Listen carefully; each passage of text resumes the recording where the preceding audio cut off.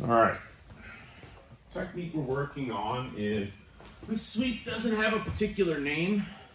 Sweep from the tripod, not the tripod sweep. It is the sweep from the tripod.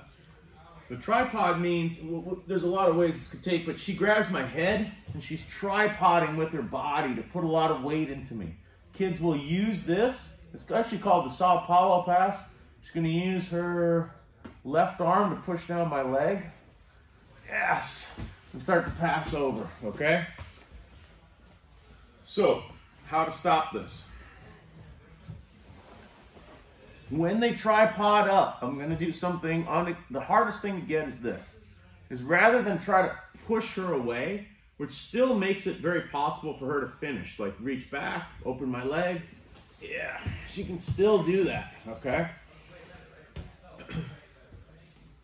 It just takes pressure off. Instead, what I'm gonna do is, I'm gonna grab her. However I grab her is fine, but I wanna get a tight grip. So that actually it's very hard for her.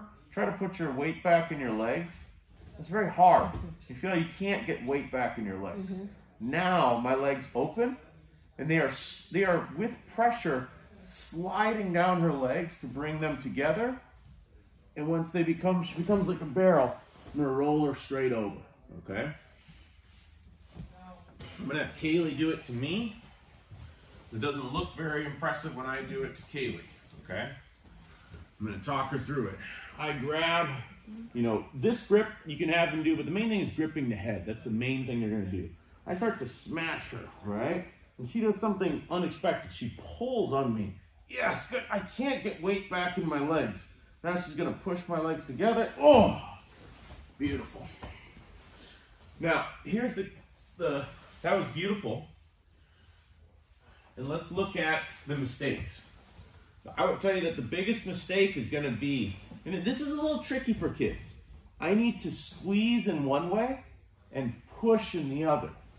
What they're going to have a tendency to do is when they push with their legs, they'll start to push with their arms too. But that puts weight back in their legs. So plant your feet hard. Mm -hmm. Yeah, good. If I start pushing back with my arms, I find her legs now very strong as I'm separating her and her chest is starting to, doesn't really have contact with my chest. There's about this much distance.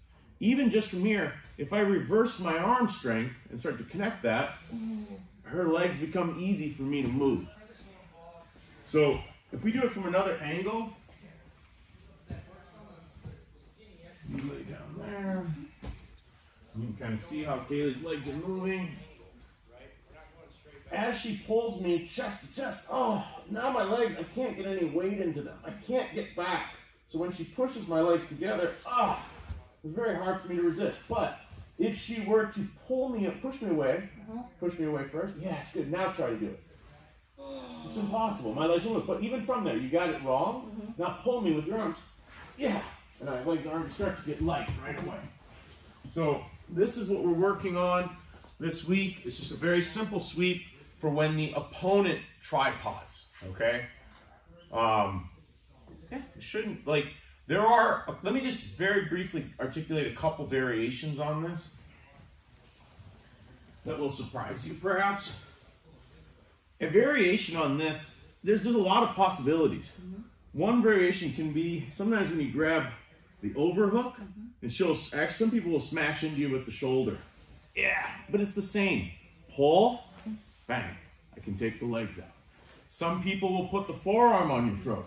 Ah, and you know, if I feel like I'm gonna get choked, I will push away. But actually, it's a lot of times easier if I pull her and stretch her legs down, okay? So there is a variety of ways that he might make his arms go, but always the principle, ah, one last one. Even, this is being seem even silly almost. Maybe like grabs my, my biceps or something. I can even pull here and still take her legs out. It's gonna be maybe, I might need a hook here to sweep, but it's still possible to utilize that principle, okay? If, once I put his their weight on my chest, their legs do not have a lot of ability to resist. My legs are going, casting out like that. So you're always kind of, you want to kind of emulate that kid. It's like a, a breaststroke kick. Boom, take it.